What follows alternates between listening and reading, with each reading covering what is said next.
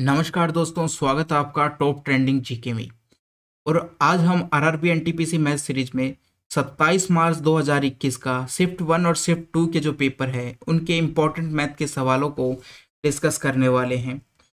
तो आज का पेपर स्टार्ट करते हैं और सबसे पहला सवाल आपकी स्क्रीन के सामने वीडियो कंटिन्यू करें, उससे पहले मैं आपको बताऊँ दोस्तों, जो भी कैंडिडेट अभी तक मॉक टेस्ट अटेम्प्ट नहीं करे स्पेशल में ग्रुप डी और एनटीपी सीबी टू कैंडिडेट की बात करें तो अभी भी आपके पास मौका है। अभी यहाँ पर टेस्ट बुक पर होली के अवसर पर सेल चल रही है, जिसमें आपको बारह के बजाय अट्ठारह मंथ की टेस्ट बुक पास की वैलिडिटी मिल रही है।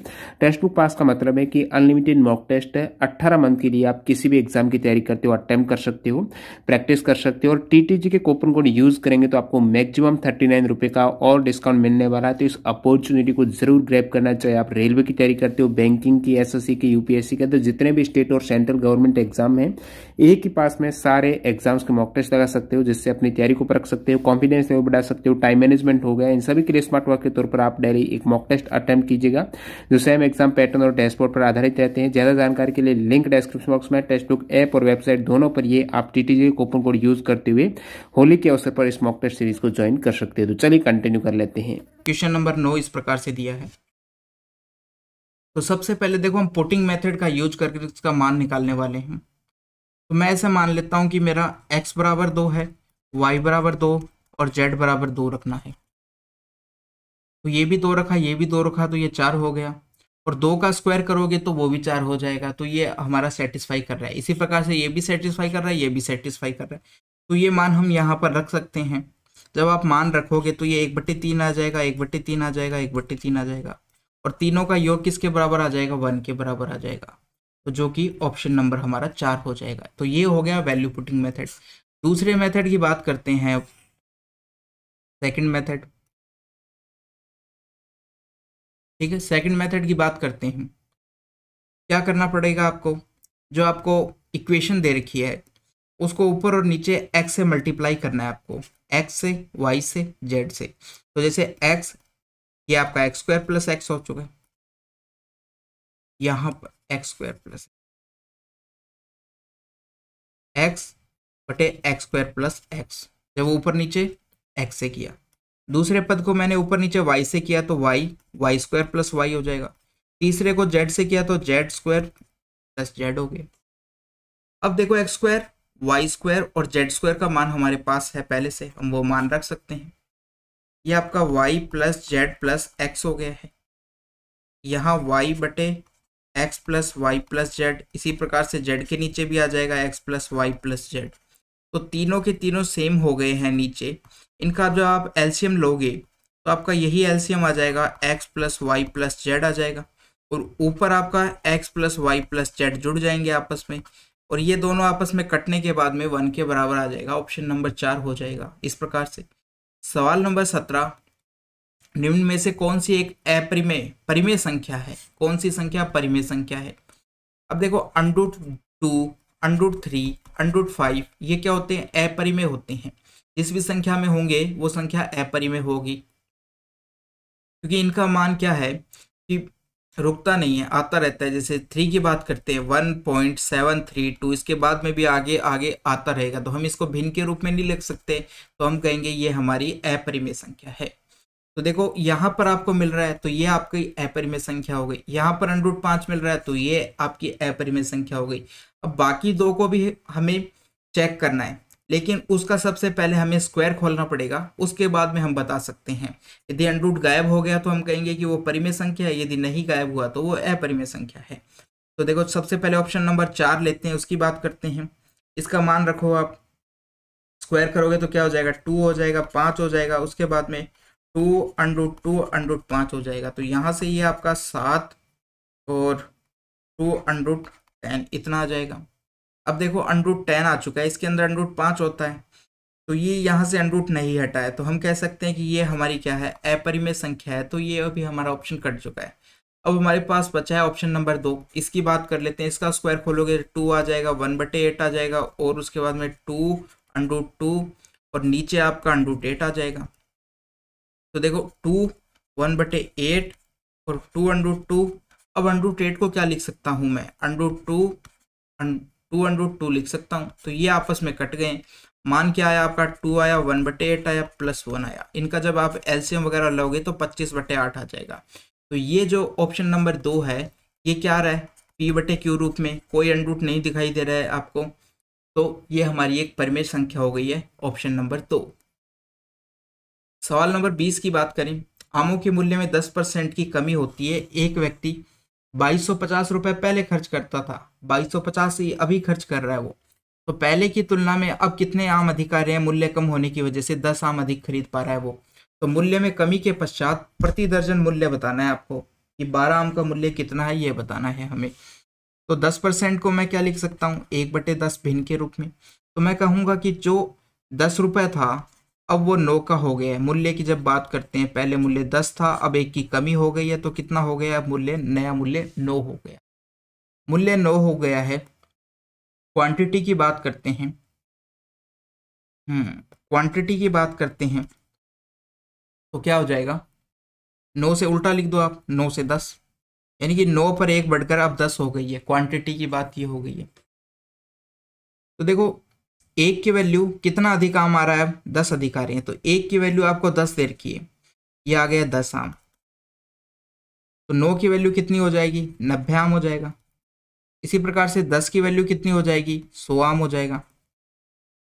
तो आपके पास पहले के भी आम आ चुके हैं, अब भी आम आ चुके हैं। पहले नब्बे आम आ रहे थे, अब सौ आम आ रहे उसने बाद का पूछा गया तो देखो टोटल वो रुपए खर्च करता है इतने और उसके अंदर उसके आम आते हैं सौ। तो सौ से यदि डिवाइड कर दोगे तो प्रति आम की कीमत आ जाएगी। प्रति आम कीमत। कितना आएगा? ये बाईस पॉइंट पाँच आ जाएगा आपका। लेकिन हमसे ये नहीं पूछा गया। प्रति दर्जन मूल्य पूछा गया। प्रति दर्जन कीमत पूछी गई है। तो जो एक आम की कीमत आई है, उसको आप बारह से डिवाइड बारह से मल्टीप्लाई कर दो। बारह से मल्टीप्लाई करोगे तो कितना आ जाएगा? टू सेवन डबल ज़ीरो आएगा। एक के बाद पॉइंट लगाओगे तो आपका आंसर आ जाएगा दो सौ सत्तर रुपये, बारह आम का मूल्य आ चुका है। ऑप्शन नंबर एक हो गया है। पहले वाला पूछते तो हम नब्बे आम को डिवाइड करते। सवाल नंबर ट्वेंटी नाइन की बात करें। ए जितना कार्य दो दिन में पूरा कर सकता है, बी उतना कार्य तीन दिन में पूरा कर सकता है। बी जितना कार्य चार दिन में पूरा करता है, सी उतना कार्य पाँच दिन में पूरा कर सकता है। ए अकेले किसी काम को 22 दिन में पूरा कर सकता है तो ए बी सी मिलकर आपस में उस काम को कितने दिन में पूरा कर देंगे, ये पूछा गया। तो देखो ए बी सी तीनों का एक अनुपात बनाने की कोशिश करेंगे। आप जानते हो कि जो दिनों का अनुपात होता है, क्षमता का अनुपात उसका उल्टा होता है। तो वो कह रहा है कि दिनों का अनुपात क्या हो गया है? दो अनुपात तीन। यानी कि ए जितना काम दो दिन में करता है बी उतना काम तीन दिन में करता है। तो क्षमता की बात कर रहे हैं हम क्योंकि क्षमता से कैलकुलेट करना ज़्यादा आसान है दिनों की बजाय। तो मैं क्षमता का अनुपात बनाने की कोशिश कर रहा हूँ तीनों का एक। दिनों का अनुपात दो अनुपात तीन है तो क्षमता का क्या हो जाएगा? तीन अनुपात दो हो जाएगा इस प्रकार से। क्षमता का मतलब क्षमता का मतलब हम्म, उनकी इफिशियंसी एक दिन का काम।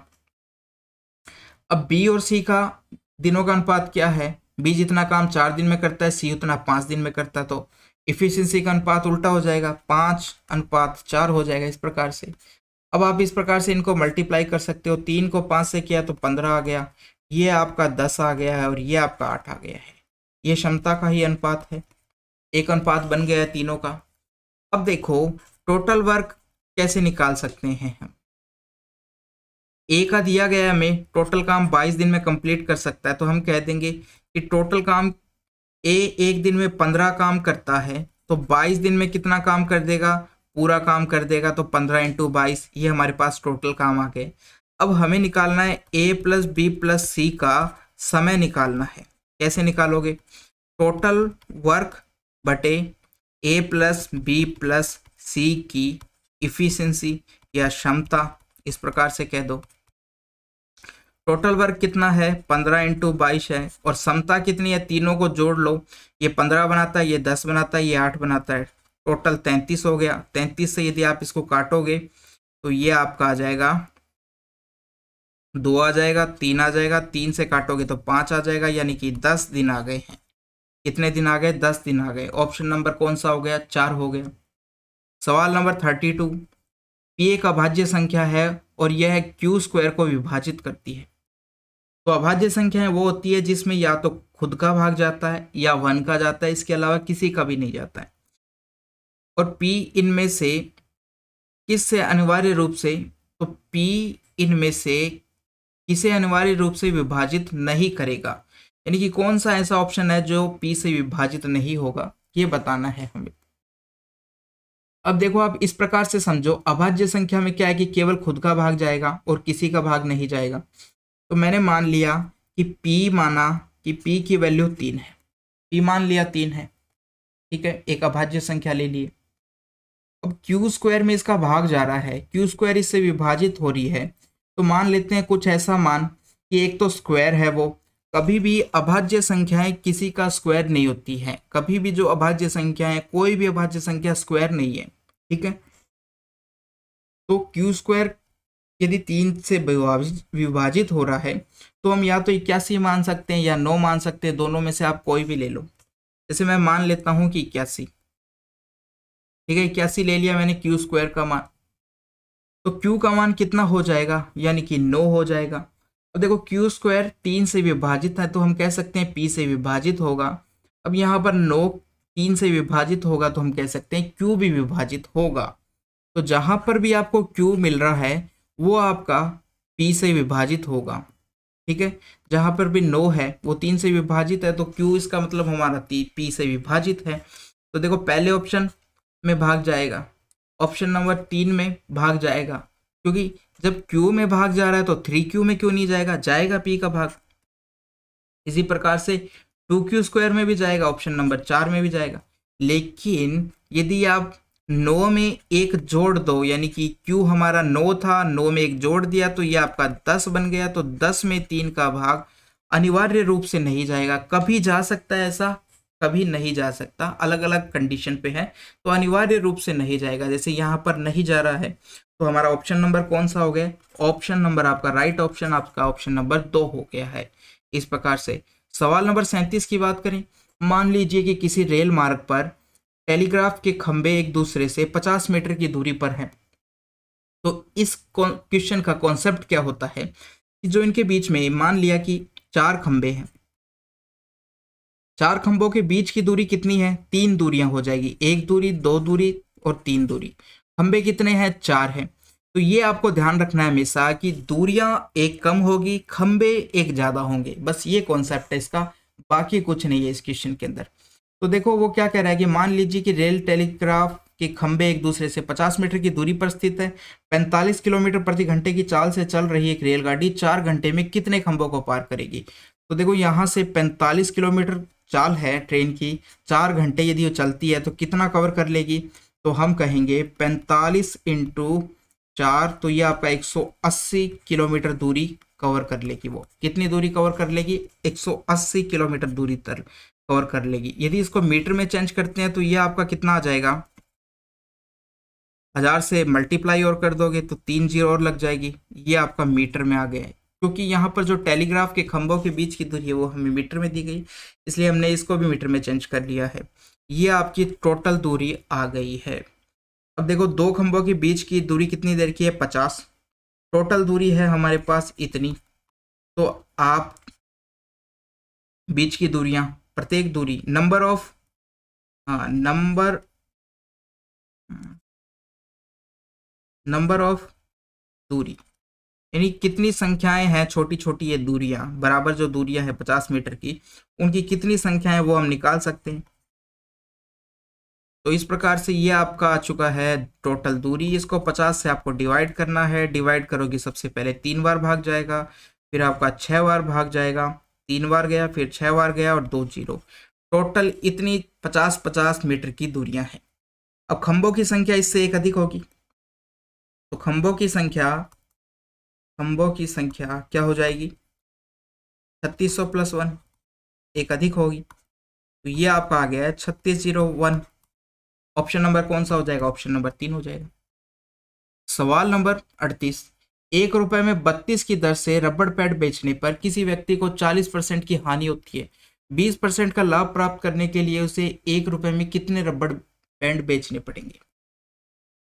तो देखो, एक रुपए में बत्तीस रबड़ बैंड बेचता है वो, ठीक है? और 40 परसेंट की हानि होती है तो एक रबड़ बैंड का कीमत निकाल लेते हैं। तो एक बटे बत्तीस रुपए एक रबड़ बैंड की कीमत आ चुकी है आपके पास, ठीक है? एक रुपए को हमने बत्तीस से डिवाइड कर दिया है, क्योंकि एक रुपए में बत्तीस आते हैं तो एक रबड़ बैंड की कीमत एक बटे बत्तीस हो गई है। इसी इतने में बेचता है वो एक रबड़ बैंड को। और उसको क्या होता है? चालीस परसेंट की हानि होती है। यानी कि जो ये कीमत दी गई है, सो होती है टोटल परसेंटेज में क्रय मूल्य। चालीस का यदि उसको हानि हुई है तो मूल्य कितना हो गया? कितने में बेचा है उसने? यानी कि साठ परसेंट पर बेचा है। तो ये किसकी कीमत आ चुकी है? साठ परसेंट की आ चुकी है। तो हम कहेंगे कि ये जो कीमत है, एक रबड़ बैंड की कीमत तो इतनी है। अब ये किसकी कीमत है? साठ की। साठ परसेंट की वैल्यू है ये। तो साठ से डिवाइड कर दिया इसको। और हमें किसकी निकालनी है? एक सौ बीस परसेंट की। तो एक सौ बीस से मल्टीप्लाई कर दिया। तो इस प्रकार से अब जो एक रुपये में जब बीस परसेंट का लाभ प्राप्त करता है, जब एक रबड़ की कीमत आ जाएगी हमारे पास, यहाँ से आप काटोगे तो ये दो आ जाएगा और ये आपका एक बटे सोलह आ जाएगा। ये आपका एक रबड़ की कीमत आ चुकी है जब आपको बीस परसेंट का लाभ होता है। ये आ गया एक बटे सोलह। तो एक रुपए में कितना हो जाएगा? एक रबड़ की कीमत एक बट्टे सोलह है तो एक रुपए में हो जाएँगे सोलह रबड़ सोलह रबड़ ये हो गया। ऑप्शन नंबर कौन सा हो जाएगा? ऑप्शन नंबर तीन हो जाएगा। सवाल नंबर फोर्टी वन। एक्स बराबर ये दे रखा है, आपको एक्स का मान निकालना है, सरल करना है इसको। कैसे निकालोगे? यहाँ पर अंडरूट दे रखा है। तो हमें क्या करना पड़ेगा? दोनों साइड स्क्वायर करना पड़ेगा। लेफ़्ट साइड में एक्स स्क्वायर हो जाएगा। राइट साइड में यदि स्क्वायर करते हो तो ऐसे पूरे का स्क्वायर करना पड़ेगा आपको। इधर स्क्वायर हो चुका है। अब इसको हमारे पास ए प्लस बी के होल स्क्वायर से ओपन करना पड़ेगा। तो पहले का स्क्वायर कितना हो जाएगा? One plus under root three by two यानी कि अंडरूट हट चुका है पहले पे से। दूसरे का भी इसी प्रकार से one minus under root three by two ये भी हट चुका है आपका। फिर क्या आएगा? टू इंटू अंडरूट पहली वाली संख्या one plus under root three by two और one minus under root three by two ये आपकी संख्या आ गई है। थोड़ा सा और सॉल्व करते हैं इसको। तो यहाँ तो एक्स स्क्वायर का एक्स स्क्वायर है। अब ये देखो आपका one under root three by two हो जाएगा। ये one minus under root three by two हो जाएगा। प्लस यहाँ टू है। अब देखो, अंदर यहाँ पे क्या आएगा? ये ए प्लस बी ये ए माइनस बी तो वन माइनस तीन बटे चार हो जाएगा ये। A square minus b square से। एक्स स्क्वायर वन आ जाए, वन और वन, देखो वन और वन टू हो जाएँगे, ये तो जुड़ गए। और ये आपस में क्या है? कट गए, ठीक है? घट गए ये आपस में। अब बचा क्या आपका? यहाँ पर टू बचा। और अंडरूट के अंदर कितना बचा? एक बटे चार बचा। तो ये दो आया, यहाँ पर दो है। अंडरूट सॉल्व किया सबसे पहले तो यहाँ से एक बट्टे दो आएगा, दो से दो कट जाएगा तो वन आ जाएगा।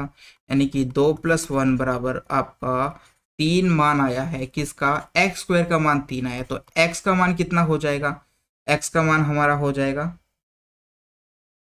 अंडरूट ले लो दोनों साइड राइट साइड में अंडरूट थ्री आ जाएगा। ऑप्शन नंबर आपका कौन सा हो जाएगा? ऑप्शन नंबर आपका तीन हो जाएगा। ये हमारा आंसर हो चुका है।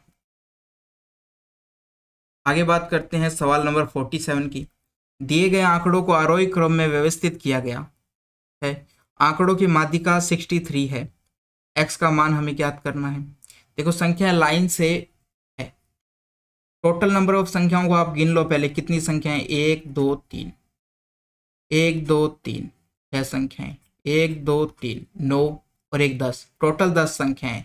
जब संख्याएँ सम हो तो जो मध्य की दो संख्याएँ हैं, उनको जोड़कर आप क्या करोगे? दो से भाग दे दोगे। तो वो आपकी मादिका आ जाती है? यानी कि बीच वाली संख्या एक तो x थी, एक x प्लस टू थी। इनको दो से डिवाइड किया तो ये हमारी मादिका आ गई और मादिका का मान 63 दे रखा है। यानी कि x 2x ऊपर जोड़ा तो 2x प्लस टू हो गया, ये दो उधर गया। तो कितना हो जाएगा? 126 हो गया। तो 2x का मान यहाँ से कितना आ जाएगा? 124 आ जाएगा। x का मान कितना आ जाएगा यहाँ से? ये दो से भाग दोगे आप, बासठ आ जाएगा। बासठ ऑप्शन नंबर कौन सा हो गया? चार हो गया है। सवाल number fifty one fifty one में क्या है? निम्न का मान ज्ञात कीजिए। ये दे रखा है आपको। अब इसको हम वैल्यू पुटिंग से नहीं कर सकते। या फिर आप यहाँ पर वैल्यू पुट करोगे तो एक तो नहीं रख सकते, क्योंकि यदि आप यहाँ पर एक रखते हो तो यहाँ से ज़ीरो आएगा ऑप्शन नंबर दो से। और एक ए का मान यहाँ पर एक रखते हो तो यहाँ से भी ज़ीरो आएगा। तो हम एक से नहीं रख सकते। दो का मान रखना पड़ेगा हमें, दो रखना पड़ेगा और दो रखने पर दो की पावर बारह करना पड़ेगा यहाँ पर। ठीक है, यहाँ पर दो की पावर छत्तीस करना पड़ेगा। तो ये क्या है कि थोड़ा लंबा हो जाएगा, यदि हम वैल्यू रखते हैं तो देखो कैसे हमें बेसिक से करना ज़्यादा आसान पड़ेगा। अब आप जानते हो, क्या जानते हो? कि यदि मेरे पास ए प्लस वन है और इसका क्यूब करना है तो क्या आएगा? ए प्लस वन आ जाएगा सबसे पहले। देखो ये नहीं। यदि मेरे पास a square a cube plus a cube plus one का क्यूब करना है तो क्या आता है मेरे पास? सबसे पहले ए प्लस वन आ जाता है, फिर ए स्क्वायर फिर आ जाएगा आपके पास ए और फिर आपका वन वन का स्क्वायर आ जाता है। वन का स्क्वायर वन ही होता है। इसी प्रकार से ए क्यूब माइनस वन का क्यूब करना था तो क्या आता है?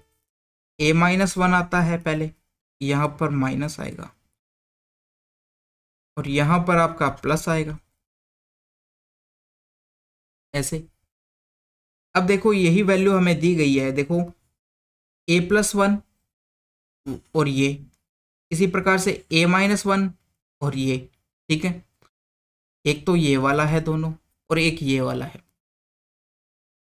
तो आपका एक तो बन जाएगा ए क्यूब प्लस वन और यहाँ पर वन माइनस ए है तो ये आपका एक बन जाएगा वन माइनस ए क्यूब इस प्रकार से। फिर एक आया आपका वन प्लस ए की पावर सिक्स ये है, ये बन जाएँगे आपके। अब देखो, इसको मैं आगे पीछे कैसे भी लिख सकता हूँ। या फिर मैं ऐसे भी लिख सकता हूँ वन प्लस ए क्यूब, मगर माइनस वाले को ऐसे नहीं लिख सकते हम। अब देखो, ये हो गया आपका a plus b, a minus b. तो दोनों क्या हो जाएँगे? स्क्वायर माइनस बी स्क्वायर, यानी वन का स्क्वायर वन होगा, माइनस इसकी पावर सिक्स आ जाएगी। इसी प्रकार ये आपकी पावर सिक्स है। और वापस से ये a minus b, a plus b तो वन माइनस ए की पावर बारह आ जाएगा। ये हो जाएगा आपका। ऑप्शन नंबर चार। क्वेश्चन नंबर फिफ्टी टू अब देखो, हमें निकालना है इनका एफ़ लेकिन संख्याएँ क्या है हमारी? दशमलव के अंदर आ गई। तो दशमलव के अंदर एफ़ निकालना हमें नहीं आता है। लेकिन हमने सीख रखा है इससे पहले कि यदि संख्याएँ भिन्न के रूप में है तो उसका एस हमने निकाला है। तो हम इनको क्या करेंगे? भिन्न में चेंज कर लेंगे। कैसे करोगे? पॉइंट हटाया तो नीचे कितना आ जाएगा? दस आ जाएगा। यहाँ पर पैंतालीस दे रखा था पॉइंट हटाओगे तो नीचे कितना आ जाएगा? सौ आ जाएगा। यहाँ पर आपको पंद्रह दे रखा तो कुछ नहीं है तो नीचे वन लिख देते हैं। अब हमें पता है कि भिन्न का एच निकालना या एलसीएम निकालना हमें आता है। क्या हो जाएगा? ऊपर वाले का तो हमें लेना पड़ेगा एच और हर वाले का लेंगे हम एलसीएम तो ये हमारा एच आ जाएगा। तो करो ऐसा।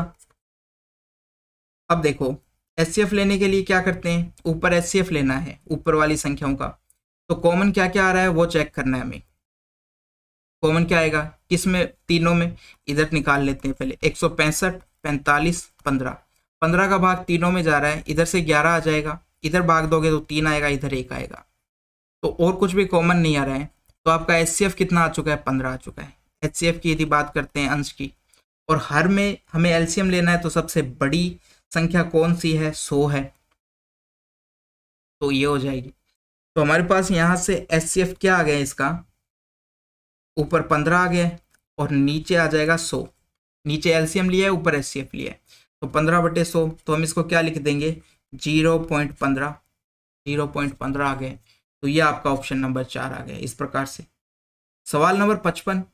एक व्यक्ति ने चार परसेंट वार्षिक साधारण ब्याज की दर पर एक निश्चित राशि उधार दी।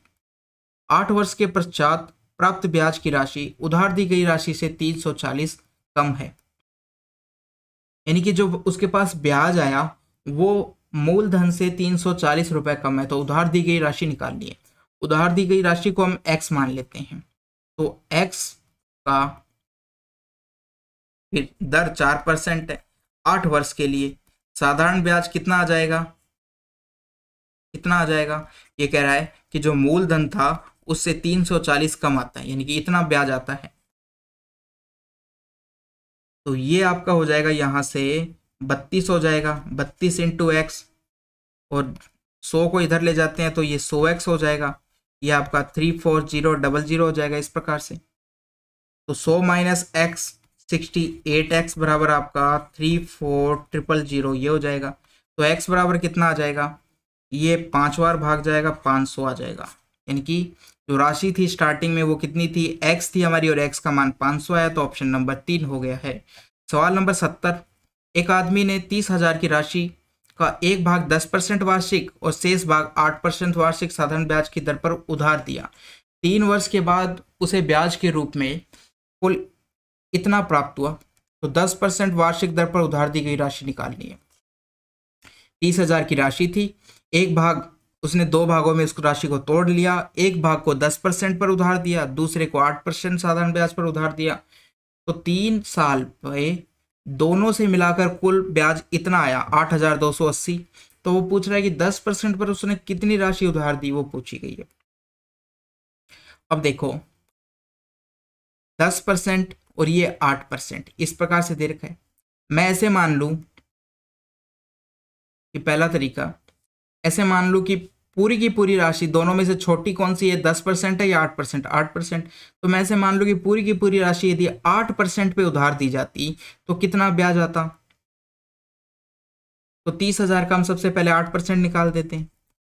तीस परसेंट का, तीस हज़ार का आठ परसेंट निकाल देते हैं तो आठ हज़ार निकालोगे आप, ये ब्याज आ जाएगा यहाँ से। दो ज़ीरो से दो ज़ीरो कट जाएगा, तीन तीन नौ और नौ आठ बहत्तर, और पीछे दो ज़ीरो। यानी कि तीन साल का आठ परसेंट से कुल टोटल ब्याज, कुल टोटल राशि पर कुल टोटल ब्याज बहत्तर सौ आया है, इतना आया लेकिन यहाँ पर हमारे पास ब्याज कितना है? आठ हज़ार दो सौ अस्सी। तो कितना अधिक आया? आठ हज़ार दो सौ अस्सी। घटाते हो तो ये आपको आ जाएगा एक हज़ार अस्सी। तो ये एक हज़ार अस्सी किस वजह से है क्योंकि यहाँ पर दस परसेंट है, कितना? दो परसेंट अधिक है। तो ये दो परसेंट ब्याज की वजह से एक हज़ार अस्सी आया दो परसेंट ब्याज की वजह से कितना आया एक हज़ार अस्सी। तो देखो, पहली वाली जो राशि थी, ठीक है, उसी पे तो ये ब्याज आया है, क्योंकि दस परसेंट वहीं पे तो है जो पहली वाली राशि थी। तो दो परसेंट की वैल्यू आपके पास आ चुकी है, दो परसेंट की दो साल, दो परसेंट की तीन साल के लिए आई है। यानी कि टोटल छः परसेंट हो गया और छः परसेंट की वैल्यू आपके पास इतनी आ चुकी है। तो आप मूलधन निकाल सकते हो। मूलधन कितना होता है? सौ परसेंट होता है। तो एक परसेंट की वैल्यू यहाँ से निकालोगे छः का भाग दोगे छः कम छः छः आठ अड़तालीस, ज़ीरो, एक सौ अस्सी आ जाएगा। तो सौ परसेंट की वैल्यू कितनी आ जाएगी? अट्ठारह हज़ार रुपये तो ये आपकी प्रथम वाली राशि आ चुकी है। क्योंकि ये जो दो परसेंट ब्याज था, ये जो एक हज़ार अस्सी है, ये जो दस परसेंट यानी दो परसेंट जो अधिक है पहली वाली राशि पर, उससे आया था। इसलिए जो ये सौ परसेंट आया है, ये वो पहली वाली राशि का सौ परसेंट, यानी कुल टोटल पहली वाली राशि का आया है। तो ये अठारह हज़ार हो गई, ऑप्शन नंबर दो हो गया। तो एक तरीका तो ये है। दूसरा तरीका क्या है, आप x प्लस वाई दो भागों में तोड़ लिया, हमने तीस हज़ार को इस प्रकार से कर दिया। उसके बाद में x को वो दस परसेंट पर देता है, ठीक है? तो आ गया नीचे। Y को वो आठ परसेंट पर देता है, सो आ गया नीचे। कितने साल के लिए देते हैं? तीन साल के लिए तो दोनों को टोटल तीन से मल्टीप्लाई कर दिया। और यहाँ पर आपका ब्याज कितना आता है? आठ हज़ार। आठ हज़ार दो सौ अस्सी आ जाता है। अब यहाँ से सौ कॉमन आ जाएगा। तीन को भी उधर ले जाएँगे। बचेगा क्या हमारे पास? हम कहेंगे हमारे पास बच जाएगा दस एक्स प्लस आठ वाई बराबर आठ हज़ार दो सौ अस्सी। इधर सौ से और मल्टीप्लाई कर दिया और तीन से डिवाइड कर दिया। इनको उधर लेके चले गए। तीन से यदि आप भाग देते हो, तीन एकम तीन तीन दूनी छः और छः आ गया, उसके बाद में तीन सात इक्कीस, और तीन चिक अट्ठारह इतना आ जाएगा। यानी कि दस एक्स प्लस आठ वाई की वैल्यू आपके पास कितनी आ गई? Two seven six zero double zero, इतना आ गया। और जबकि पहली वाली जो एक्स प्लस वाई तीस हज़ार है, उसको मैं यदि दोनों साइड, इसको यदि हम दोनों साइड क्योंकि हमें निकालना है एक्स का मान हम वाई को गायब करने की कोशिश करते हैं, यानी कि इसको आठ से मल्टीप्लाई कर देते हैं दोनों साइड तो इधर भी आठ से मल्टीप्लाई होगा। तो कितना आ जाएगा? ये आठ एक्स आ जाएगा, ये आठ वाई आ जाएगा, और इधर आपका चौबीस ट्रिपल ज़ीरो इतना आ जाएगा। अब यदि हम इनको घटाएँ तो ये घट जाएगा, ये भी घटेगा, ये भी घटेगा। तो इनको घटाने पर यहाँ पर तो ये तो कट जाएँगे। यहाँ टू एक्स आएगा और यहाँ आ जाएगा आपका थ्री सिक्स सिक्स आया थ्री आया और ट्रिपल ज़ीरो इतना आ जाएगा। तो एक्स का मान यहाँ से कितना आ जाएगा? एक्स बराबर यहाँ से आ जाएगा आपका अठारह हज़ार आ जाएगा। ये आ जाएगा। ऑप्शन नंबर दो आ गया। क्योंकि एक्स हमारी क्या थी? पहली राशि वाई हमारी दूसरी राशि एक्स का मान आ गया। सवाल नंबर सेवेंटी वन ये आपको दे रखा है और इसका मान पूछा गया है। तो हम जानते हैं, देखो एक चीज़ हम जानते हैं, क्या जानते हैं? कि a cube plus b cube plus c cube बराबर होता है थ्री ए बी सी कब होता है ये? जब आपके पास, कब होता है? हम कहेंगे जब a plus b plus c बराबर ज़ीरो होता है। A plus b plus c बराबर ज़ीरो होता है तो a cube plus b cube plus c cube बराबर थ्री ए बी सी होता है। तो ये हम यहाँ पर लगाने वाले हैं। तो देखो, अब हमारे पास तीन राशियाँ दे रखी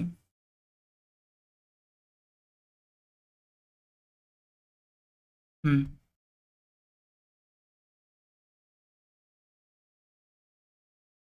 तो पहली राशि आपकी क्या हो गई है? एक्स बटे ए दूसरी वाई बटे बी तीसरी जेड बटे सी ये हो गई। है यहाँ से अब हम एक्स बटे ए निकाल लेते हैं पहले ऑप्शन से। यहाँ से देखो आप एक्स बटे ए का मान निकालो। क्या आ जाएगा आपका? एक्स बटे ए निकालते हो। बी माइनस सी आ जाएगा। फिर आप वाई बटे बी निकालते हो तो क्या आ जाएगा आपका सी माइनस ए आ जाएगा। फिर जेड निकालते हो तो क्या आ जाएगा आपका सी ए माइनस बी ये हो जाएगा। सी नीचे आ जाएगा। इस प्रकार से। अब आप इन तीनों को जोड़ के देख लो सबसे पहले। एक्स बटे बी और वाई बटे सी और जेड बटे सी ये ज़ीरो आना चाहिए। यानी कि b minus c plus c minus a plus a minus b, ये कटेंगे और ज़ीरो आ जाएगा तो हम कह सकते हैं, ये हम कर सकते हैं। A cube plus b cube का मान ये तो मान कितना आ जाएगा हमारे पास, इसकी बात करें। एक्स बटे ए क्यूब प्लस वाई बटे बी क्यूब प्लस जेड बटे सी क्यूब, इसलिए हम ये कह सकते हैं। क्या कह सकते हैं? इन तीनों का गुणनफल, इनका मान कितना दे रखा है आपको?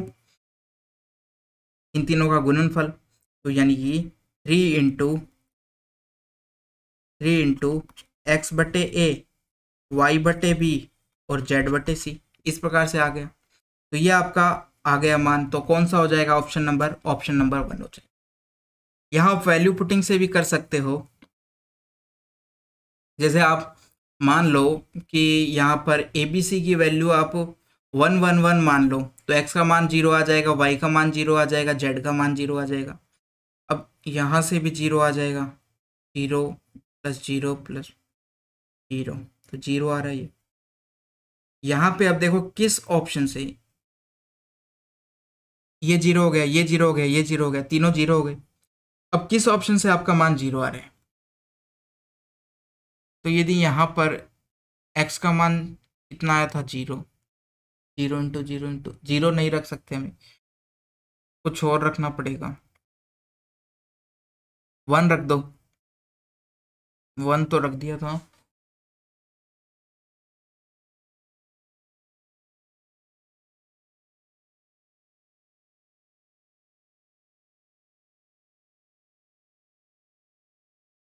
तो देखो, इस प्रकार से हो गया। ऑप्शन आपको चेक करना पड़ेगा। आगे बढ़ते हैं सवाल नंबर एट्टी फाइव की तरफ़। वह छोटी से छोटी पूर्ण वर्ग संख्या ज्ञात कीजिए, जिसका एक गुणनखंड इतना है। एक गुणनखंड इतना है। वह छोटी से छोटी पूर्ण वर्ग संख्या ज्ञात कीजिए, जिसका एक गुणनखंड इतना। अब देखो, हमें संख्या को वर्ग बनाना है। एक गुणनखंड आपको दे रखा है। सबसे पहले इसके अभाज्य टुकड़े कर लो आप। तो जब इसके अंदर हम अभाज्य टुकड़े करते हैं, पीछे पाँच है, यानी कि पाँच से भाग जाएगा सबसे पहले। तो ये आ गया आपका। पाँच, सात है, पैंतीस आ जाएगा। फिर पाँच ती है, पंद्रह आ जाएगा। फिर पाँच पाँच है, पच्चीस आ जाएगा। वापस पाँच का भाग जाएगा, पाँच एकम पाँच आ जाएगा, पाँच दूनी, पाँच एकम पाँच पाँच चौका बीस, पाँच सात है पैंतीस। अब पाँच का भाग नहीं जा रहा, सात का जाएगा, सात से ये आ जाएगा, इक्कीस आपका, फिर सात का जाएगा, सात से कितना आ गया? इक्कीस आ गया, इक्कीस क्या तीन आ गया, अब तीन का भाग जाके एक आएगा तो ये हमारे पास टुकड़े आ गए। क्या है? पाँच की पावर दो है, सात की पावर दो है और तीन की पावर एक है। अब इसको पूर्ण वर्ग बनाने के लिए हमें एक तीन से और मल्टीप्लाई करना पड़ेगा। एक तीन से और मल्टीप्लाई करना पड़ेगा। तो इसके बाद में क्या हो जाएगा? पाँच का स्क्वायर हो जाएगा, सात का स्क्वायर हो जाएगा और तीन का स्क्वायर हो जाएगा। कितना क्या? एक तीन से। पावर देखो, वर्ग बनाने के लिए हमें सम पावर होनी चाहिए। सभी पावर सम होनी चाहिए। अब हमारे पास सम पावर हो गई है। तो इन तीनों को अब आप यदि मल्टीप्लाई कर लेते हो, इन सबको मल्टीप्लाई कर लेते हो। तो वो संख्या हमारी पूर्ण वर्ग है। तो हमें किस से मल्टीप्लाई करना पड़ा? केवल एक तीन से और। तो हमारे पास इतना तो था ही पहले से। केवल एक तीन से मल्टीप्लाई करना पड़ा तो इससे मल्टीप्लाई करोगे आपकी संख्या आ जाएगी, जो ऑप्शन नंबर दो दे रखा है आपको। करते हैं। तीन पाँच पंद्रह, एक आई हासिल, तीन सात इक्कीस और बाईस, दो आई हासिल अट्ठारह और दो बीस, दो और नौ और दो ग्यारह। ये आ गया आपका। तो इस प्रकार से ऑप्शन नंबर दो हो जाएगा। तो shift one complete shift two का पहला सवाल क्वेश्चन नंबर सिक्स एक दुकानदार ने एक इलेक्ट्रिक ब्लेड तीन से एक बट्टे दो परसेंट की हानि पर बेचा। इतने पे बेचा हानि पे। यदि उसने इसे एक सौ बहत्तर पॉइंट पाँच अधिक मूल्य पर बेचा होता तो उसे आठ परसेंट का लाभ होता। आठ परसेंट का लाभ होता। और तेरह परसेंट का लाभ कमाने के लिए उसे इसे किस मूल्य पर बेचना चाहिए? एक दुकानदार ने इलेक्ट्रिक ब्लेड तीन सही एक बटे दो परसेंट की हानि पर बेचा। ठीक है। यदि उसने इसे एक सौ बहत्तर अधिक मूल्य में बेचा होता तो उसे आठ परसेंट का लाभ होता तो तेरह परसेंट का लाभ कमाने के लिए उसे किसने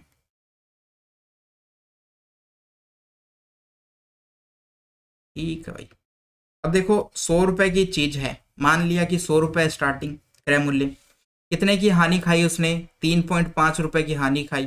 यानी कि तीन पॉइंट पाँच की यदि हानि हुई है, और इसके बाद में कितना हो जाएगा? ये आपकी हानि हुई है तो हम कह देंगे नाइन्टी सिक्स पॉइंट फाइव हो जाएगा। कितना परसेंट हो जाएगा? विक्रय मूल्य। अब वो कह रहा है कि एक सौ बहत्तर पॉइंट फाइव रुपये अधिक में बेचा होता तो उसे आठ परसेंट का लाभ होता। तो क्रय मूल्य तो सो ही रहने वाला है। अब की बार क्या हुआ? ये तो हानि थी। अब की बार क्या आठ रुपए का लाभ हुआ और इस प्रकार से मूल्य कितना हो जाएगा? एक सौ आठ, एक सौ आठ परसेंट में बेचा है। इन दोनों के बीच का अंतर उसने दे रखा है। कितना अधिक में बेचा? एक अधिक में बेचा। एक अधिक में बेचा। जब आप इन दोनों को घटाते हो, कितना आ जाएगा आपका? आठ और तीन पॉइंट पाँच को जोड़ लो, उतना ही आएगा। तो हम कह सकते हैं आठ, ग्यारह ग्यारह पॉइंट पाँच। यानी कि ग्यारह पॉइंट पाँच जो है, परसेंट बोल दो। ग्यारह पॉइंट पाँच परसेंट की वैल्यू एक्चुअल में कितनी है? एक सौ बहत्तर पॉइंट पाँच दे रखी है आपको। एक की वैल्यू कितनी है? एक परसेंट की वैल्यू। एक सौ बहत्तर पॉइंट पाँच बटे ग्यारह पॉइंट फाइव। तो पॉइंट से पॉइंट काट देते हैं इस प्रकार से। और हमें क्या निकालना है? तेरह परसेंट का लाभ कमाने के लिए उसे, इसे किस मूल्य पर बेचना पड़ेगा? लाभ कितना? तेरह परसेंट का। तो कितने में बेचना पड़ेगा? एक सौ तेरह में बेचना पड़ेगा। एक सौ तेरह परसेंट की वैल्यू निकाल दो, यानी कि एक सौ तेरह से मल्टीप्लाई करना है। एक सौ तेरह से मल्टीप्लाई इस प्रकार से। अब ये देखो, तेईस से पाँच बार जाता है। इसको तेईस का भाग दोगे आप। तेईस, पाँच एक सौ पंद्रह छिक्का एक सौ अड़तीस, सात एक सौ इकसठ। इकसठ, यानी सात बार जाएगा। एक सौ इकसठ गया पहले तो सात बार, फिर पाँच बार, पिचहत्तर आ जाएगा। पिचहत्तर, पाँच से कितनी बार जाएगा? ये आपका पंद्रह बार चला जाएगा। तो पंद्रह आ गया। अब आपको एक सौ तेरह को पंद्रह से मल्टीप्लाई करना है। पंद्रह तीय पैंतालीस का पाँच आ जाएगा। चार आई हासिल पंद्रह और चार उन्नीस, एक आई हासिल पंद्रह। और एक सोलह सोलह पचानवे रुपये ये आपका विक्रय मूल्य आ गया जब तेरह परसेंट लाभ पर बेचता है। ऑप्शन नंबर दो। सवाल नंबर बारह। निम्नलिखित को हल कीजिए। X minus one upon x बराबर तीन दे रखा है। इसका मान निकालना है आपको। हमें पता है कि यदि ये बराबर के के होता है तो ये आपका हो जाता है के क्यूब प्लस थ्री के यदि यहाँ पर माइनस है माइनस है तो निकालना इस प्रकार से। प्लस होता तो यहाँ सवाल में जो हमारा फॉर्मूला है, उसमें माइनस आता। यदि प्लस होता तो माइनस आता माइनस है तो प्लस आएगा। तो के का मान तीन दे रखा है, तीन का क्यूब करोगे तो सत्ताईस हो जाता है, ये आपका नो हो जाएगा। दोनों को जोड़ोगे तो छत्तीस, आपका आंसर आ गया ऑप्शन नंबर दो हो गया। सवाल नंबर इक्कीस alpha plus beta plus gamma बराबर ज़ीरो दे रखा है, इसका मान आपको ज्ञात करना है। ये बराबर आपको ज़ीरो दे रखा है। ठीक है। अब देखो, ये ज़ीरो दे रखा है, इसका मतलब क्या है?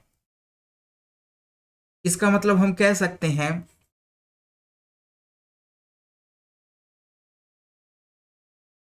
कि alpha cube plus beta cube plus gamma cube बराबर three three alpha beta gamma के बराबर हो जाएँगे, ठीक है? यदि ये ज़ीरो है तो ये इसके बराबर हो जाएगा, थोड़ी देर पहले हमने सवाल में ये भी बात करी थी, ये हो जाएगा। अब देखो। अब हम यहाँ से क्या कर सकते हैं? अब सबसे पहले जो आपको दिया गया है, उसका एलसीएम लो। इसका हम एलसीएम लेते हैं। एलसीएम लोगे तो क्या आ जाएगा आपके पास? अल्फ़ा, बीटा, गामा आ जाएगा। यहाँ पर अल्फ़ा क्यूब आ जाएगा, यहाँ पर आपका बीटा क्यूब आ जाएगा, यहाँ पर आपका गामा क्यूब आ जाएगा। अब alpha cube, beta cube, gamma cube की जगह आप क्या लिख सकते हो? थ्री अल्फ़ा, बीटा, गामा, ये लिख सकते हो, और नीचे अल्फ़ा, बीटा, गामा है। अल्फ़ा, बीटा, गामा से अल्फ़ा, बीटा, गामा कट जाएगा। कितना आएगा? तीन आएगा। ऑप्शन नंबर कौन सा हो गया? चार हो गया। बाकी आप यहाँ पर ऑप्शन रख सकते, आप वैल्यू पुट कर सकते हो। जैसे कि मैं इसकी वैल्यू दो रख दूँ, इसकी वैल्यू माइनस वन रख दूँ, इसकी वैल्यू माइनस वन रख दूँ, बराबर ज़ीरो क्या आएगा? ये वैल्यू आप यहाँ पर पुट करोगे तो उससे भी आपका मान तीन आ जाएगा। ऐसे भी कर सकते हो आप। सवाल नंबर पच्चीस। यदि एक आयताकार बॉक्स की विमाएँ इस प्रकार से दे रखी है आपको तो बॉक्स के अंदर रखी जा सकने वाली छड़ी की अधिकतम लंबाई ज्ञात कीजिए। यानी ये उसकी लंबाई हो गई है, ये उसकी चौड़ाई हो गई है, ये उसकी ऊंचाई हो गई। तो हम जानते हैं कि जो आयताकार घनाभ के आकार का जो बॉक्स है, उसका विकर्ण कितना हो जाएगा? विकर्ण क्या होता है? अंडरूट, लंबाई का स्क्वायर प्लस चौड़ाई का स्क्वायर प्लस ऊंचाई का स्क्वायर वैल्यू रखो, पंद्रह का स्क्वायर करोगे, फिर आप आठ का स्क्वायर करोगे और फिर छः का स्क्वायर करोगे। और उनका अंडरूट। ये आपका 225 आता है, ये आपका चौंसठ आता है, ये आपका 36 आता है। इन सबको जोड़ोगे, ये आपका 10 हो गया 325 हो गया। अब 325 के आप टुकड़े करोगे तो 25 और 13 हो जाएँगे। क्या हो जाएँगे? एक तो आपका हो जाएगा 25 हो जाएगा, एक 13 हो जाएगा। तो यहाँ 25 का वर्गमूल तो पाँच हो जाता है और 13 का अंडरूट तेरह रह जाएगा। यह आपका ऑप्शन नंबर दो हो गया। सवाल नंबर छत्तीस, जब एक धन पूर्णांक के को अठारह से विभाजित किया जाता है तो नौ शेष बचता है। हमें ऐसे दिया गया है कि देखो सबसे पहले ऐसे लिख लो। के को अठारह से विभाजित किया तो शेष फल कितना बचा? नौ शेष बच गया। अब हमें भागफल नहीं दिया गया है तो भागफल को मैं एक्स मान लेता हूँ। तो यहाँ से मेरी इक्वेशन क्या बनी? कि के बराबर हो जाता है, इन दोनों को मल्टीप्लाई कर देते हैं, अठारह एक्स और उसके अंदर शेष फल को जोड़ देते हैं तो के का मान बराबर इतना आ गया। अब वो कह रहा है कि यदि इसको मैं छः से विभाजित करता हूँ तो कितना शेष बचता है? तो आप छः से विभाजित करो इसको। ए को यदि छः से विभाजित किया गया है, यानी कि अठारह एक्स प्लस नौ को छः से विभाजित किया है। अब आपको अठारह एक्स को भी करना है और नौ को भी करना है। अठारह एक्स प्लस छः को करना है और नौ को छः से विभाजित करना है। तो इसमें तो भाग चला जाता है, थ्री एक्स बार पूरा पूरा। लेकिन इसमें कितनी बार गया? तीन बार गया। ऐसे कर लो, इसके अंदर तो भाग चला जाएगा, ठीक है? ये तो पूरा पूरा भाग चला जाएगा, कोई शेष नहीं बचेगा, ज़ीरो शेष बचा यहाँ से तो। शेष की बात कर रहे हैं, ज़ीरो। इसमें भाग जाएगा, एक बार जाएगा, फिर कितना बच जाएगा? तीन बच जाएगा। तो शेष कितना बचा? तीन बच गया, क्योंकि इसमें से तीन शेष बचा है। ऑप्शन नंबर कौन सा हो जाएगा? एक हो जाएगा। सवाल नंबर फोर्टी थ्री अंडरूट चालीस का मान ये दे रखा है तो हमें इसका मान निकालना है। तो यहाँ पर हम अंडरूट चालीस बनाने की कोशिश करेंगे।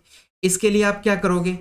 ऊपर और नीचे मैं अंडरूट पाँच अंडरूट पाँच से मल्टीप्लाई कर देता हूँ इस प्रकार से।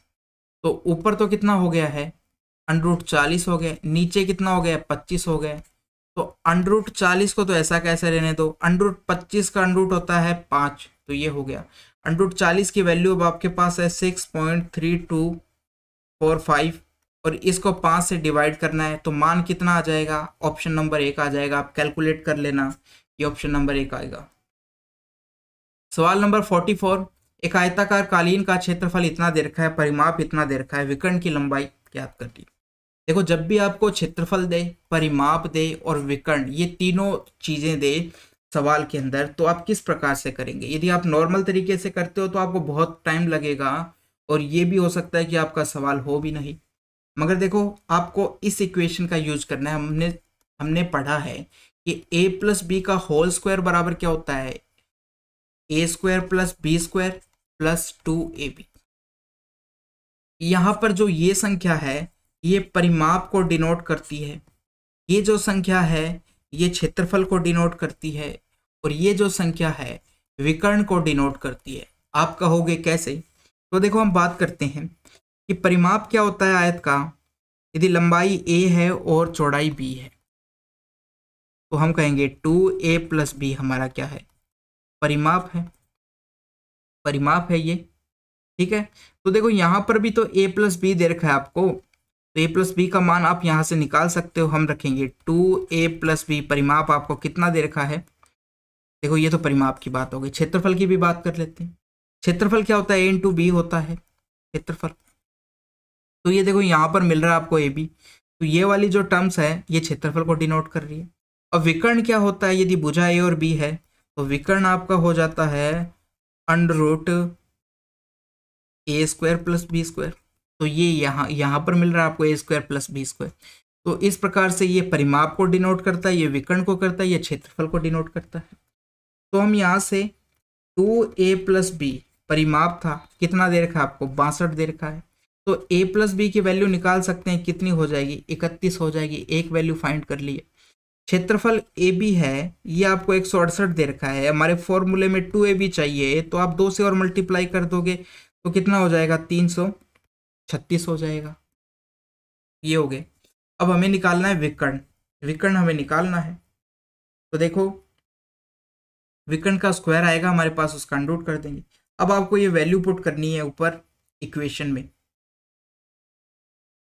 वैल्यू पुटिंग से। वैल्यू पुट कर रहे हो, इकतीस का स्क्वायर होता है नौ सौ इकतीस। नौ सौ इकतीस होता है या नौ सौ इकसठ होता है? नौ सौ इकसठ। नौ सौ इकसठ आ गया। यह आपका a square plus b square यानी कि इसकी जगह हम विकर्ण का स्क्वायर लिख देते हैं। विकर्ण का स्क्वायर साथ में आपको क्या दिया है? Three three, six. तो विकर्ण का स्क्वायर बराबर क्या आ जाएगा?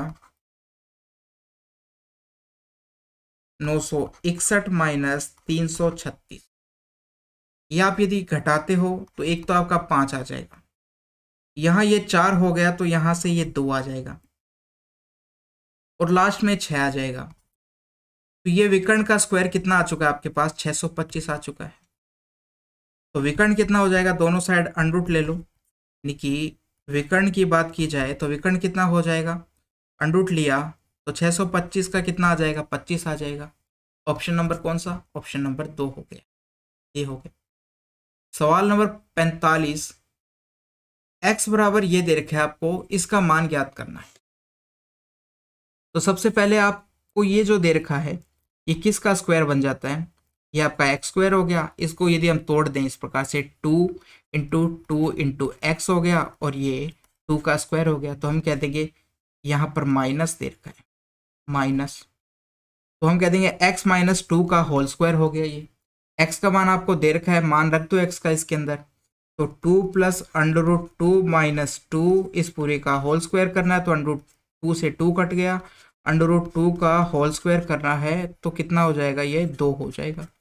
ऑप्शन नंबर एक। सवाल नंबर फिफ्टी सिक्स एक कार के मूल्य में प्रति वर्ष बारह परसेंट की दर से अवमूलन होता है, यानी कि उसका मूल्य हास होता है, मूल्य गिरता है किसी वस्तु का, कार का। इसका वर्तमान मूल्य इतना दे रखा है, दो वर्ष पहले कार का मूल्य कितना था? मान लिया स्टार्टिंग के अंदर इसका एक्स था, हर वर्ष बारह परसेंट इसका मूल्य गिर जाता है। तो पहले साल कितना हो गया? एक साल बाद कितना हो गया? बारह गिर गया, यानी एटी, एट परसेंट हो गया। फिर जो मूल्य बचा, आया, उसका एटी परसेंट आएगा दूसरे साल। इतना। और ये आपको दे रखा है सात हज़ार, सात लाख चौहत्तर हज़ार चार सौ। इतना दे रखा है। अब एक्स को एक साइड रखो आप। Seven seven four four double zero, नीचे eight eight into eight eight, और इधर आ जाएगा सौ इंटू सौ। ये आ गया। अब आपको इनकी सॉल्व करना है। ग्यारह से यदि काटते हो तो आठ बार जाएगा। ये कितनी बार जाएगा ग्यारह से? ग्यारह से ये सात ज़ीरो चार डबल ज़ीरो, इतना जाएगा। इतना चला जाएगा। अब इसके अंदर आप फिर ग्यारह से यदि काटते हो तो ये आठ बार जाएगा। इसको यदि काटोगे तो कितनी बार जाएगा? छः बार जाएगा, चार बार जाएगा, डबल ज़ीरो, इतना आ जाएगा। आठू आठू चौंसठ तो ये आपका सौ बार चला जाएगा। तो यानी कि मान हमारा क्या आया? दो ज़ीरो ये, दो ज़ीरो ये और दो ज़ीरो ये। तो ये आपका आ गया दस लाख था स्टार्टिंग के अंदर उसका मूल्य, ऑप्शन नंबर तीन होगी सवाल नंबर साठ, एक त्रिभुज की दो भुजाओं का माप क्रम से आपको 10 सेंटीमीटर और आठ सेंटीमीटर है। त्रिभुज का क्षेत्रफल इतना दे रखा है, तीसरी भुजा की लंबाई ज्ञात कीजिए। जहाँ पर ये क्या कि परिमेय संख्या है, यानी कि भिन्न के रूप में नहीं है मान तो हमें पता है कि फॉर्मूला क्या होता है? S s minus a s minus b s minus c ये किसके बराबर होता है? क्षेत्रफल का फॉर्मूला ये होता है। ये आपको देखा है सोलह रूट सिक्स जहाँ पर ए बी सी हमारी भुजाओं की लंबाई है, ये ए हो गया, ये बी हो गया है और सी को हम एक्स मान लेते हैं। एस क्या होता है? एस यहाँ पर होता है, जो भुजाओं की लंबाई है a plus b plus c उनको जोड़ का योग का आधा दस और ये अठारह हो जाएँगे, ये एक्स हो गया बटे टू इतना आ जाएगा ये हमारा एस का मान। अब आपको ये वैल्यू यहाँ पर पुट करनी है। रखोगे तो कितना आ जाएगा? सबसे पहले अट्ठारह प्लस एक्स बाई टू ये हो गया। फिर अठारह plus x by two minus a का मान कितना दे रखा है? दस दे रखा है तो दस घटाना है। फिर अट्ठारह plus x by two minus आठ करना है। और फिर अट्ठारह plus x by two minus x करना है। और ये आपका सोलह अंडरूट सिक्स के बराबर है। सोलह अंडरूट सिक्स के बराबर है। अब आपको क्या करना है? ये तो आपका अट्ठारह प्लस सारे जितने भी नीचे दो दो हैं, उनको बाहर लोगे आप तो कितना बचेगा? केवल वन अपन फोर बाहर आएगा। जब बाहर लिया तो हमने एलसीएम भी लेना पड़ा। कुछ संख्याओं का यहाँ तो अठारह प्लस एक्स बचा। यहाँ पर एल्सियम लिया तो ये बीस हो जाएगा, बीस में से अट्ठारह जाएगा तो एक्स माइनस दो आ जाएगा। यहाँ ये सोलह हो गया है, यानी कि एक्स प्लस टू आ गया है। और यहाँ पर ये टू एक्स, यानी कि अट्ठारह माइनस एक्स आ चुका है।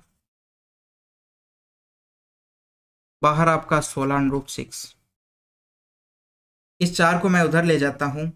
और अंदर मेरे पास अब क्या बच जाएगा? एक तो आपके पास आएगा अठारह का स्क्वायर अठारह का स्क्वायर यानी कि तीन सौ चौबीस माइनस एक्स स्क्वायर एक आपका हो जाएगा एक्स स्क्वायर माइनस चार, ये दो आ जाएँगे। ये चार को उधर ले गए तो ये चौंसठ अंडरूट सिक्स बन जाएगा। ये हो गया।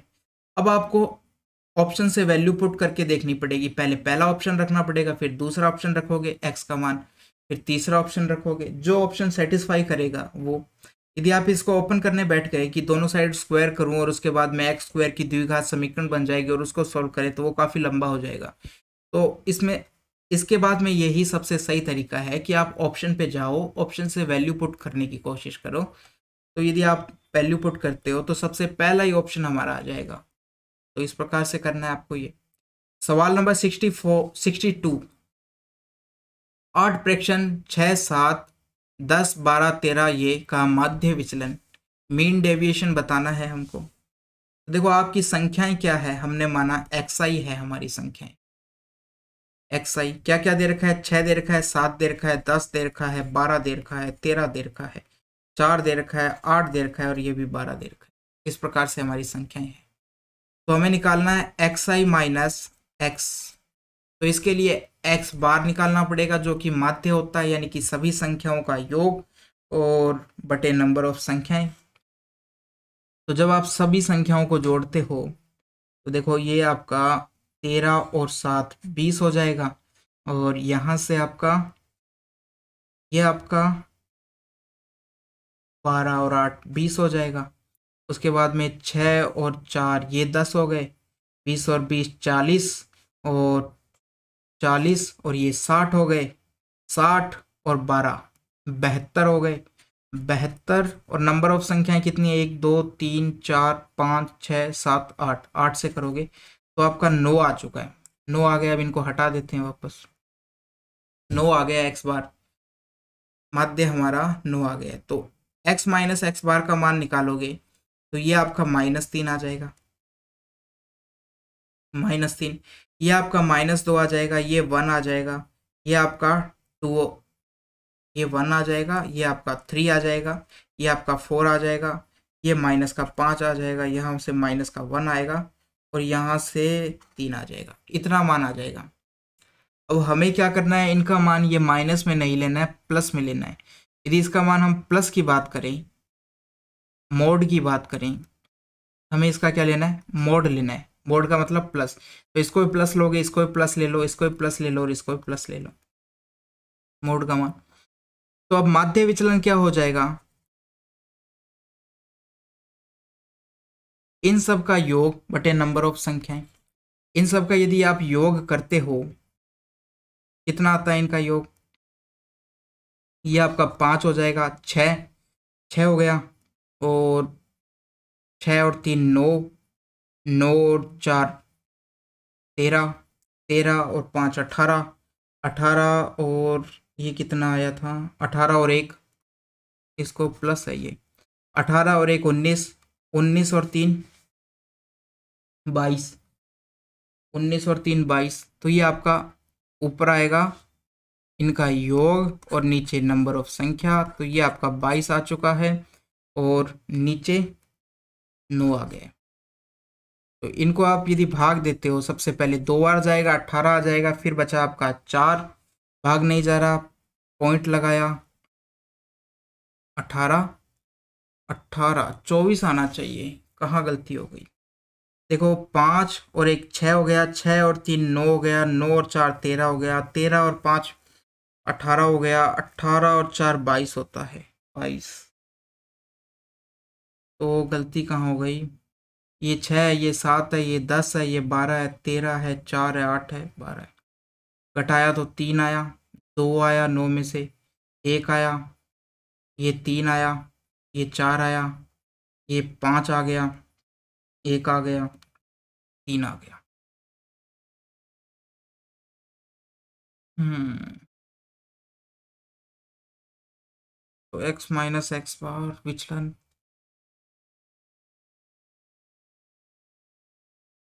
पाँच और ये छः और दस हो गया, दस और तीन तेरह तेरह और पाँच अठारह अट्ठारह और चार बाईस। तो बाईस बट्टे नौ ही आ रहे हैं। जब आप इसको भाग दोगे तो ये अठारह आ गया। अठारह में से अब कितना बचा हमारे पास? चार बचा। तो चार से तो ये छत्तीस। चार बार ही जाएगा। फोर बार। छत्तीस आ जाएगा। फिर वापस से चार। तो देखो यहाँ पे कुछ गलती हो रही है। पूरा का पूरा सवाल वापस करना पड़ेगा। तभी गलती पकड़ी जाएगी, नहीं तो। मैं पूरा का पूरा फिर से करता हूँ। क्या है? कि सबसे पहले था छः, फिर है सात, फिर आपका दस, फिर आपका बारह, उसके बाद में तेरह, फिर आया चार, फिर आया आठ और फिर आया बारह। अब इनका आप जब जोड़ते हो, कितना आ जाएगा? सात और तेरह, बीस हो जाएगा। छः और चार, दस, तीस हो गया। और ये आपका बीस, पचास हो गया, साठ, बहत्तर। यानी एक्स बार का मान हमारे पास कितना आ गया? बहत्तर बटे नंबर ऑफ़ संख्याएँ तीन और तीन, छः और दो, आठ तो नौ आ गया है। तो x i minus x bar का मोड हमारे पास निकालना है। नौ में से घटाओगे तो तीन सात को घटाओगे तो दो, नौ में से ये घटाओगे तो एक आएगा। ये आपका नौ में से तीन आ जाएगा, चार आएगा। नौ में से चार घटाओगे तो पाँच आएगा। नौ में से आठ, एक। और ये आपका तीन आएगा। अब इनको हमें जोड़ना है। यहाँ पे पाँच और एक छः हो गया। छः छः और तीन। नौ हो गया। नौ और चार तेरह। तेरह और पाँच अट्ठारह अठारह और एक उन्नीस। उन्नीस और तीन। बाईस। देखो, या तो सवाल के अंदर गलती है या मैं कहीं पे गलती कर रहा हूँ। तो माध्य विचलन किस प्रकार से निकालोगे आप? इसी प्रकार से sigma x i minus x bar का योग करना है और नीचे नंबर ऑफ़ संख्या से आपको डिवाइड करना है। जितना भी मान आता है, वो आपका आंसर आ जाएगा। ठीक है? तो यहाँ पर योग मेरा बाईस आ रहा है, नीचे नौ आ रहा है और जब मैं डिवाइड कर रहा हूँ तो ये नंबर ऑफ़ संख्याएँ तो ठीक है ना? तीन और तीन छः और ये आठ से जाता तो सोलह आ जाता और सोलह या तो आठ आता गया यहाँ? तीन और तीन तीन और तीन छः और दो आठ। तीन और तीन छः और और दो आठ। तो नंबर ऑफ़ संख्या हमारी आठ है, न कि नौ है तो आठ से डिवाइड करना पड़ेगा। नंबर ऑफ़ संख्या से करना है। मैंने क्या कर दिया? माध्य से डिवाइड कर रहा था इसको। तो इसको आठ से यदि आप डिवाइड करते हो तो आठ दूनी सोलह हो जाएगा। फिर आपके पास छः बचा, भाग नहीं जा रहा पॉइंट फिर आपका सात, छप्पन आया, फिर चार, पाँच। तो ये आपका आंसर आ गया। कौन सा हो जाएगा? ऑप्शन नंबर एक हो जाएगा। सवाल नंबर सेवेंटी फोर की बात करते हैं। बारह मीटर ऊँची, मीनार के शीर्ष से किसी बिजली के खंभे के पाद बिंदु का अवनमन कोण 60 डिग्री है और खंभे के शीर्ष का अवनमन कोण 30 डिग्री है। तो देखो, एक तो आपके पास मीनार है और एक बिजली का खंभा है। तो सबसे पहले आपको ये पता करना है कि मीनार बड़ी है या खंभा बड़ा है। ये कैसे पता करोगे? देखो, यहाँ क्या दिया गया है? अवनमन कोण। और यहाँ पर भी क्या दिया गया है? अवनमन कोण। यानी कि मीनार से जब हम खंबे की तरफ़ देखते हैं तो दोनों बार अवनमन कोण का मतलब केवल इतना सा है। वैसे तो अवनमन कोण और उन्नयन कोण नॉर्मल सवाल में एक ही होता है। मगर जो ये सवाल है, ऐसे सवालों में आपको इनका अंतर पता चलेगा। क्या कि जब आप मीनार के शीर्ष से देखते हो तो दोनों बार आपको नीचे नीचे देखना पड़ रहा है। अवनमन कोण का मतलब ये है। यदि वो उन्नयन करता, कहता कि मीनार के शीर्ष से खंबे का उन्नयन कोण तो हमें उस टाइम ऊपर देखना पड़ता। यानी कि खंबा उस टाइम बड़ा होता। तो यहाँ पर दोनों बार अवनमन अवनमन है। कहने का मतलब जो मीनार से खंबे के पैरों को देखता है, पाद को देखता है तो भी उसको नीचे देखना पड़ रहा है। और जब वो शीर्ष को देखता है, तब भी अवनमन कौन, यानी कि तब भी उसको नीचे देखना पड़ता है। यानी कि मीनार बड़ी है और खंबा हमारा छोटा है। ये आ चुकी है सबसे पहली। अब वो मीनार के शीर्ष से जब खंबे के पैरों को, यानी कि खंबे के पाद को देखता है तो उसका कोण कितने का था? साठ डिग्री का। और जब वो मीनार के शीर्ष से, खंबे के शीर्ष को देखता है तो उसका अवनमन कोण कितना आ जाता है? ये तीस डिग्री है। तो बस इस अवनमन से ही आपको पता चलेगा कि खंबा बड़ा है या मीनार बड़ी है। अवनमन कोण का मतलब? हमें नीचे देखना है, पड़ रहा है ऊपर से, और उन्नयन का मतलब है कि नीचे से ऊपर देखना पड़ रहा है। ये हो गया अब आ गया आपके पास 12 मीटर ऊँची मीनार। तो मीनार की लंबाई आपको दे रखी है। तो सबसे पहले देखो, ऊपर वाले, छोटे वाले त्रिभुज की बात करते हैं। यहाँ पर तीस डिग्री दे रखा है। ये कोण पूरा कितने का हो जाएगा? साठ डिग्री हो जाएगा जब हम ऊपर वाले त्रिभुज की बात करते हैं। तीस के सामने की भुजा किस अनुपात में होती है? हम कहेंगे। ये भुजा तीस तो तीस के सामने की भुजा होती है एक अनुपात में। इतनी इतनी भुजा एक हो जाएगी।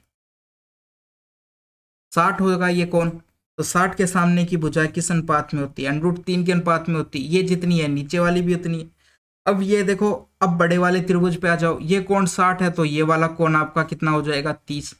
तो साठ के सामने की भुजा अंडरूट तीन होती है और एक के सामने की, तीस के सामने की, ये तीस होगा। इस वाले त्रिभुज की यदि बात की जाए, तीस के सामने की भुजा एक होती है। तो एक की वैल्यू आपको कितनी दे रखी है? अंडरूट थ्री है पहले से। तो एक की वैल्यू यदि अंडरूट थ्री है तो अंडरूट थ्री की वैल्यू कितनी हो जाएगी? अंडरूट थ्री से और मल्टीप्लाई करोगे तो ये पूरी आपकी कितनी आ जाएगी? तीन आ जाएगी। तो पूरी लंबाई कितनी आ गई है? तीन आ गई है। तो बची हुई लंबाई कितनी हो गई है? दो हो गई है। इस प्रकार से हमने इसको अनुपात में बांट लिया है। अब खंबे की क्या मीनार की लंबाई, यानी तीन की वैल्यू अब आपको दे रखी है, कितनी? बारह दे रखी है। ये वाली वैल्यू आपको बारह दे रखी है। और आपसे खंबे की लंबाई पूछिए। खंबे की लंबाई कितनी है? दो है। एक की वैल्यू कितनी हो जाएगी? चार हो जाएगी। दो की वैल्यू कितनी हो जाएगी? आठ हो जाएगी। ये आ गया आपका आंसर ऑप्शन नंबर चार हो जाएगा। बस। सवाल नंबर सतहत्तर। एक त्रिभुज के परिवर्त की त्रिज्या नौ सेंटीमीटर है, जबकि इसके अंतर्वर्त की त्रिज्या चार सेंटीमीटर है। तो त्रिभुज के परिवर्त और अंतर्वर्त के केंद्रों के बीच की दूरी ज्ञात कीजिए। हम्म। देखो, एक त्रिभुज दे रखा है आपको। त्रिभुज के परिवर्त और अंतर्वर्त के केंद्रों के बीच की दूरी का फॉर्मूला क्या होता है? तो ये फॉर्मूला होता है, यदि बड़े वाले परिवर्त की त्रिज्या को आर मानते हैं, अंतर्वर्त की त्रिज्या को छोटे स्मॉल आर से मानते हैं। तो ये आपका हो जाएगा r square minus two into r r इस प्रकार से हो जाएगा ये। ठीक है? ये फॉर्मूला हो जाता है। आर स्क्वायर करोगे तो ये कितना हो जाएगा? आपका इक्यासी हो जाएगा। टू है। आर को मान रखो। नौ हो गया। ये आपका चार हो गया। नौ चौक छत्तीस छत्तीस दुनी बहत्तर, यानी इक्यासी माइनस बहत्तर। तो कितना आ गया इनको घटाने पर? यह आ जाएगा आपका नौ। तो अनरूट कितना आ गया? ये आपका तीन आंसर आ गया। ऑप्शन नंबर दो हो जाएगा। तो ये फॉर्मूला होता है, आप ध्यान रखना किसका होता है। परिवर्त और परिवर्त और अंत केंद्रों के बीच की दूरी का ये फॉर्मूला होता है। सवाल नंबर एटी थ्री। एक संधिबाहु त्रिभुज के शीर्ष से इसके आधार पर खींचा गया लंब 12 सेंटीमीटर है। यानी कि एक समद्विबाहु त्रिभुज है, जिसमें दो भुजाएँ बराबर होती है। तीसरी भुजा इनके बराबर नहीं है। इसके शीर्ष से जब हम यहाँ पर लंब डालेंगे तो ये नीचे वाली जो आधार है, उसको बराबर बराबर भागों में डिवाइड करेगा। इसकी लंबाई आपको बारह दे रखी है। परिमाप आपको कितना दे रखा है? परिमाप तीनों भुजाओं का योग छत्तीस दे रखा है। मैं यदि इसको ए मानूँ तो ये भी ए हो जाएगी, और ये पूरी भुजा कितनी हो जाएगी? बी हो गई है। आधी आधी कितनी हो जाएगी? B by two b by two हो जाएगी। अब देखो, परिमाप आपको कितना दे रखा है? छत्तीस दे रखा है। लम कितना दे रखा है? बारह दे रखा है। देखो, हम इसको किस प्रकार से करेंगे? आसानी से करने के लिए देखो, अब बारह दिया गया है। हमें सबसे पहले ये गौर करना पड़ेगा, पाँच, बारह, तेरह हमारा एक ट्रिपलेट होता है। ये यदि आपको पता है तो आप इस सवाल को आसानी से कर सकते हो, नहीं तो आप फंस जाओगे। तो देखो, पाँच, बारह, तेरह हमारा एक ट्रिपलेट होता है। यदि ये भुजा बारह है तो ये भुजा पाँच हो जाएगी और कर्ण कितना हो जाएगा? इस एक त्रिभुज की बात कर रहे हैं, तेरह हो जाएगा इस प्रकार से। पाँच ये बारह है तो ये पाँच है, इसका मतलब ये तेरह है। इस प्रकार से लगाकर देख रहे हैं अभी तक हम, हमें पता नहीं है, ये हो गया। इसी प्रकार से ये बुझाई भी कितनी हो जाएगी? तेरह हो जाएगी। और ये आधी यदि पाँच है तो ये आधी भी पाँच होगी, यानी कि पूरी की पूरी कितनी हो जाएगी? दस हो जाएगी। अब हमारे पास परिमाप छत्तीस दे रखा है, तीनों को जोड़ के देख लेते हैं। यानी a plus a plus b बराबर हो जाएगा छत्तीस के बराबर। ये आपका तेरह प्लस तेरह प्लस दस करोगे, या छत्तीस के बराबर आ रहा है तो यहाँ से ये आ जाएगा छब्बीस प्लस दस छत्तीस, यानी कि छत्तीस आ रहा है। ये भी छत्तीस, यानी लेफ़्ट साइड और राइट राइट हैंड साइड और लेफ़्ट हैंड साइड बराबर तो हम कहेंगे कि ये वैल्यू हमारी हो सकती है, यही वैल्यू होगी। तो त्रिभुज का अब क्षेत्रफल निकालना एकदम आसान है। क्या होता है क्षेत्रफल? आधार इंटू ऊंचाई। तो ऊंचाई आपको यहाँ पर दी गई है पहले से। आधार आपका कितना हो जाएगा? दस हो जाएगा और ऊंचाई बारह हो गई है। आप इसको यदि काटते हो तो ये छः आ जाएगा, यानी कि साठ आपका क्षेत्रफल। साठ सेंटीमीटर स्क्वायर आपका क्षेत्रफल आ चुका है। ऑप्शन नंबर कौन सा हो जाएगा? चार हो जाएगा। सवाल नंबर एट्टी फोर, बाकी बात करें। ट्वेंटी फाइव महिलाएँ एक कार्य को साठ दिन में पूरा कर सकती है। कार्य शुरू होने के कितने दिन के बाद पाँच और महिलाओं, पाँच और महिलाओं को उनके साथ जुड़ना चाहिए ताकि यह कार्य पचपन दिन में पूरा हो जाए? कितने दिनों के बाद? ये पूछा गया। तो मान लिया कि स्टार्टिंग में 25 महिलाएँ मान लिया कि एक्स दिन के बाद उनको जुड़ना पड़ रहा है। जोड़ना पड़ रहा है पाँच और महिलाओं को। कितने दिन के बाद? एक्स दिन के बाद। तो एक्स दिन तो कितनी महिलाओं ने काम किया? 25 25 महिलाओं ने काम किया। तो एक्स दिन का तो काम हो गया है, उसको हटा दो। अब बाकी काम बचा। साठ माइनस एक्स दिन का काम। पच्चीस महिलाओं का साठ माइनस एक्स दिन का काम। ये कौन कर रहा है? कौन कर रहा है ये? पाँच और महिलाएँ आ गई है। पाँच और महिलाएँ उनके साथ जुड़ गई है। ठीक है, पाँच और महिलाएँ। और पचपन दिन में पूरा करना है। तो यहाँ पर एक्स दिन का तो काम हो चुका है। कितने का काम बचा? पचपन माइनस एक्स दिन में कंप्लीट करना है। कितनी महिलाएँ? तीस महिलाओं के द्वारा। पाँच और महिलाएँ थी तीस महिलाओं के द्वारा। ये हमारी इक्वेशन बन गई है। यहाँ तक ही आपको ज़ोर आने वाला है। अब तो सवाल एकदम आसान है। क्या करना है अब? सबसे पहले तो इनको काट लो आपस में।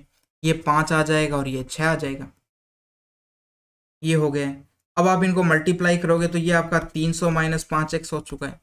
और यहाँ पर आपका पाँच छः तीस, तीन सौ तीस माइनस सिक्स एक्स हो चुका है। तो यहाँ पर आपका एक्स बराबर तीस आ गया। एक्स का मान कितना आ चुका है? तीस आ चुका है। यानी कि तीस दिन के बाद, तीस दिन के बाद उनको पाँच और महिलाओं को जुड़ना पड़ेगा काम को पचपन दिन में कंप्लीट करने के लिए। तो ऑप्शन नंबर हमारा, आप, हमारा दो हो गया। तो दोस्तों, यहाँ पर आज का अपना पेपर हो चुका है कंप्लीट। कैसा लगा आपको कमेंट में ज़रूर बताना।